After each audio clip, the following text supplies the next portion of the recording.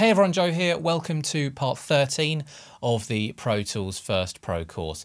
In this part, I'm going to be showing you how to export your audio to the correct formats, whether you're exporting your podcast or your music, whatever it is. We're going to find out what settings to use to get it ready for upload on your streaming service or distributor. So we've got a podcast episode open here in Pro Tools First. To get this exported and saved into a file that's ready for the distributor, um, or just for sharing, download, whatever. We're going to go to File, we're going to go Export, and then Bounce Mix, or you can press Control Alt or Command Alt B. And it's going to come with this Bounce Mix window. So you can set the file name. Let's just call it Podcast Episode 1. You can set the file type.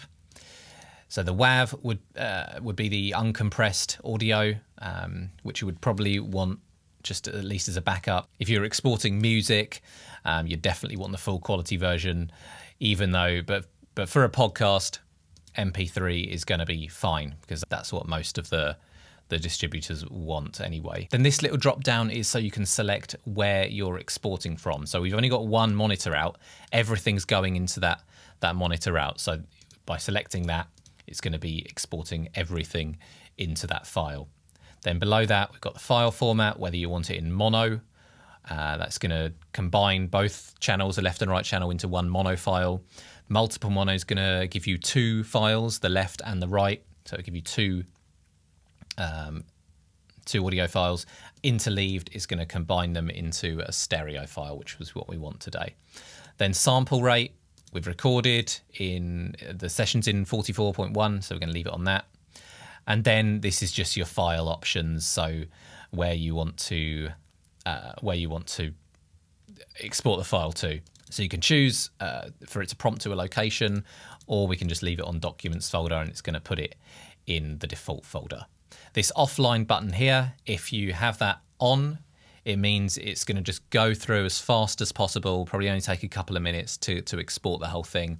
If you have it off, so you're having an online bounce. It means you're going to be listening through the, to the entire uh, episode or, or piece of audio as it exports. So for a podcast, I would definitely have have it offline. For a song, I'd probably want to listen back and it'd probably be online. So let's just go offline and click bounce so you can see the process first. Now, because this is an MP3, it's allowing us to add some ID3 tags and choose the quality of MP3. Now, for a podcast, just in this example, I would be going for a lower quality to reduce that file size. Um, you can change it to fast encoding time with a lower quality or highest quality. Normally, I'd go for the slower one just to get the best quality out of out of what we have. But for this example, I'm just going to go for a fast one, and then we can use the latest ID3 tag version that, that Pro Tools First has available and you can add your ID, uh, your ID3 tags in, and then click OK to start the process. So you can see there it's going through it. It's 56 minutes long, but it's going at 150 times that speed. So it's only going to take a couple of minutes.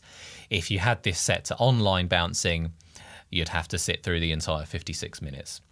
And then you can always, if you've made a mistake, you can always cancel there's a little bit more to show you, some important features uh, and settings you can use when you're exporting your audio. If you export how I just did, then it's going to be exporting everything from the beginning of the session right until the end of the final clip in your session. If you only wanted to export a little bit though, you can drag along the ruler up there or you can just highlight and it will make a selection. So now when we bounce, we can set it so that it only bounces that selection. Let's just do one for now, one of these little uh, little loops. And now when we export, let's try the online one this time so you can hear it. If we click bounce, it's only to export what we've got in those selectors. So there you go, just eight seconds of, of audio.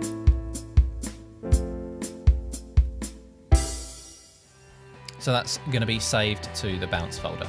You should now have a WAV or MP3 file that's ready for upload.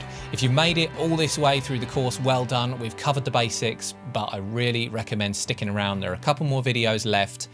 Um, we're going to be talking about some of the best most useful plugins to use in Pro Tools first. And then the final part, I'm going to offer you some free materials and some links and things to help you to, uh, to, to move your learning forward after the course is finished. So hit that subscribe button and the bell icon so you're notified when the next part is up. And let me know in the comments section below, what are you bouncing out of Pro Tools first today? And as always, thank you so much for watching and I'll see you in part 14.